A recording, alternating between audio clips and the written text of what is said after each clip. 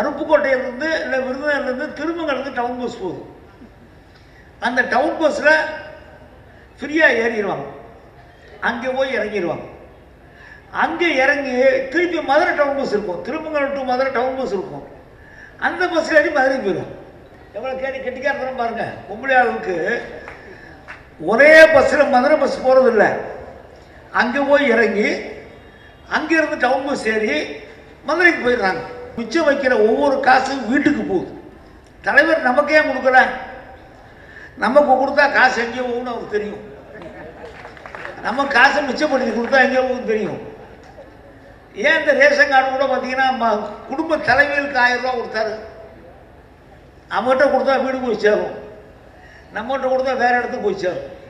குடும்பத்தில் த பொம்பளையார் நல்லா இருந்துட்டாலே அந்த குடும்பம் நல்லா இருக்குங்க.